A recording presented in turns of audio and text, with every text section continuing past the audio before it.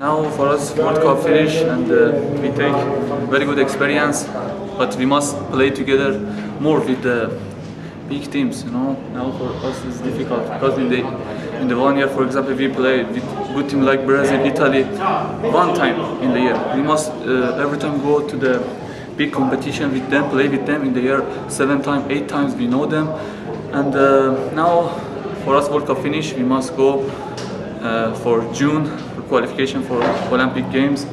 We must go to the good training and the preparation for that. In the, for example, in Asian Championship, they play too much with float service.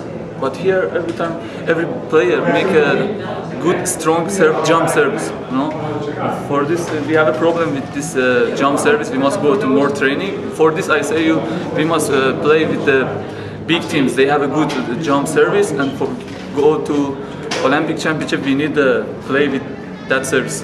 For me, uh, I go up. I, I change my level. I think in the World Cup, and uh, I think for my future was the best time this World Cup for me. Personally, for me. This. You must wait and look. There is many good players in Iran, and you must wait and look. They are coming. The stars of Iran coming. The young players.